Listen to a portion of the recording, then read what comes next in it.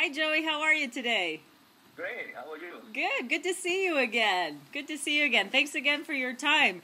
We really learned a lot about uh, your last uh, video cast about how to set up some homes, but today I want to switch over to some career uh, um, questions that I were a- I've been asking people in the area here in San Francisco.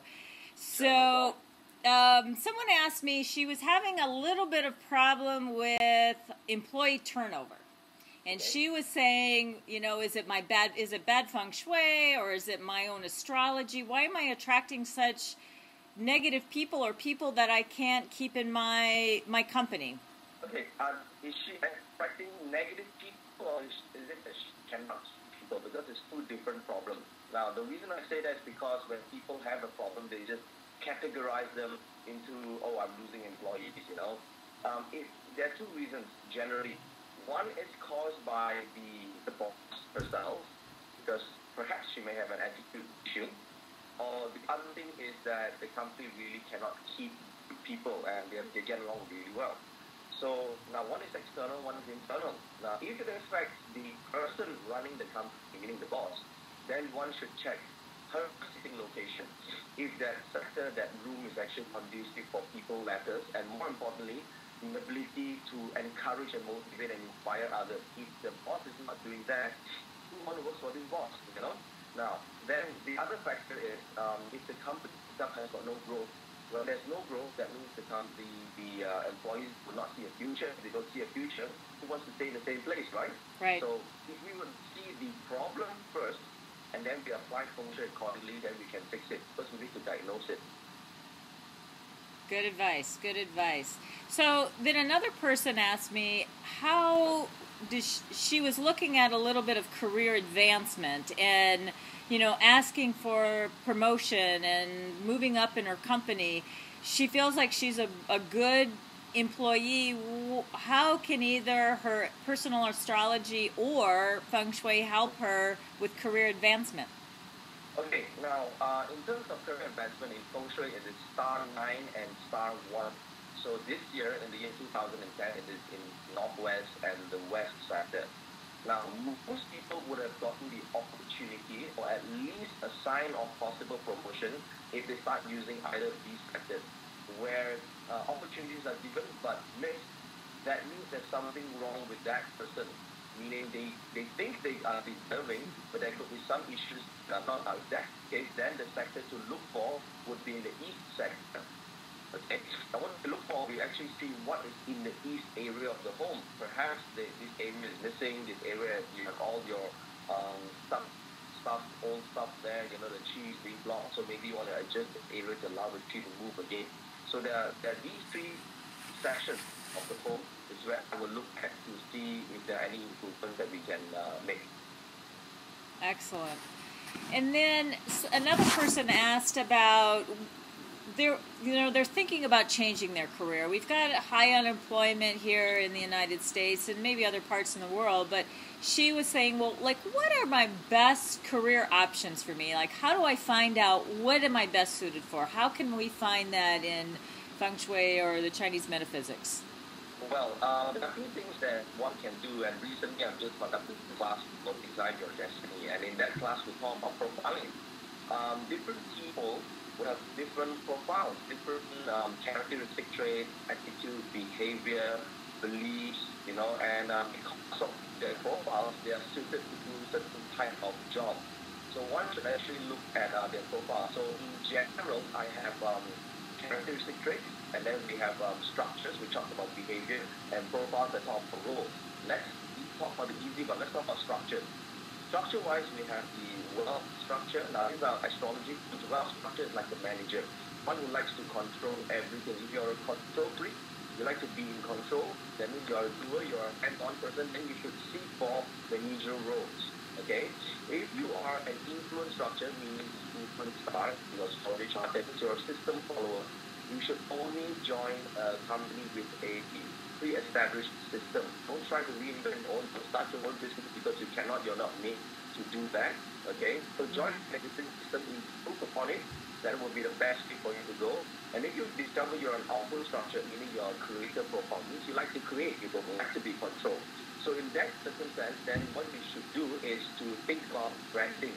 Think about being the star yourself. Think about how you can attract wealth instead of you trying to look for a job. Okay. Then there is the companion structure. A companion structure is people person. People person means that your wealth, your job, your, your entire life is about um, people. So develop networks, meet more people, join more associations, get contacts, use your contacts, matchmake people, and that's how your, your money in. And the final one is what resource structure. Resource structure, uh, according to the chart, is the thinkers. And these are people who like to analyze stuff. They will spend a lot of time thinking about problems, looking for all the details, all the small, small pieces and facts. So if you're a thinker, you're an analyzer, so uh, um, your best job is to look for data Okay, your job, you get security and confidence from, from facts and figures. So if that's the case, you should be the ones that are involved in, for example, accounting, engineering, architecture, doing the research, looking for numbers. Okay, hope that helps. That's that's good. And, and you said you're offering a course on this. When is that going to be and where? Design Your Destiny will be uh, towards the end of the year, around um, end of October and uh, uh, or November. And uh, if you're interested, we could um, come and have a look. And uh, in the meantime, there are some books that you can study on uh, behavior as well. We call it structures. And um, check it out. Yeah. You know, and then I have that. This is kind of an off-the-wall question, but you know what? I get I get all kinds of questions, but here it goes. Okay. I have a I have a person who's a professional gambler, and he Okay. said, and so here's this question. So here's the you know the career that people choose to to make money in these crazy times. But he said, okay, I'm gonna be going. You know, I spend a lot of time in Las Vegas, and I heard that the Northeast and the Southwest are bad sectors. Should I stay out of those in the casinos? Uh, Ah, Because, uh, if uh, it's southwest, then more people will lose money. So being a northeast means you will make money. okay, there you go. so that is when we talk about luck. But um, this is a very interesting question. Um, I people here in Asia, there are a lot of gamblers as well. Yeah. all over the world. Um, now there's this thing. If you are gambling based on luck, okay, you that means you're not a professional gambler. You are basically uh, just trying your luck. And if you really want to see that now, you will notice that more people who win or, a strike in lotteries or, or win in game chance have high forehead. Okay? Ah. High and wide. Why? Because heaven, man, and earth.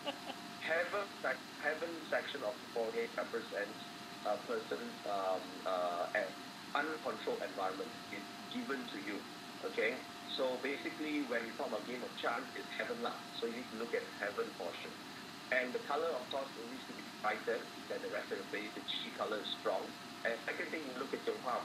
The palm usually is reddish color, but when it turns white, not pale, white color or very light color, for us you have a high forehead, then your game chance is stronger and, and uh, better.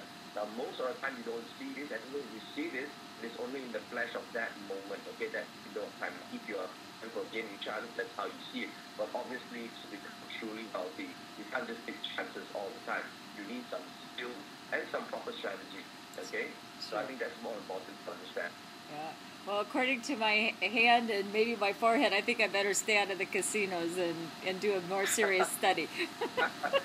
I would not do well in Vegas. Well, you know, for some though, that's that's good advice though. That's good advice. So high forehead and, and the palms we need to look at. So okay, Joey, I know that was uh, a stretch on uh, the gamblers, but hey, there we've got to make a living somehow here, huh? So thanks Yeah. for your time today. But um, if people want to get a hold of you, how can they get a hold of you? Uh, two things. They can log on to my Facebook. Uh, it's facebook.com slash joey So um, check it out. And uh, if you'd like to know a couple of courses, you can log on to masteryacademy.com. Okay. Well, thanks for your time, Joey. And if you want to know more about Kathleen Horvath and Five Elements Group, you can log on to www.fiveelements.com. We'll see you soon, Joey. Thanks for your help today. See you. Bye.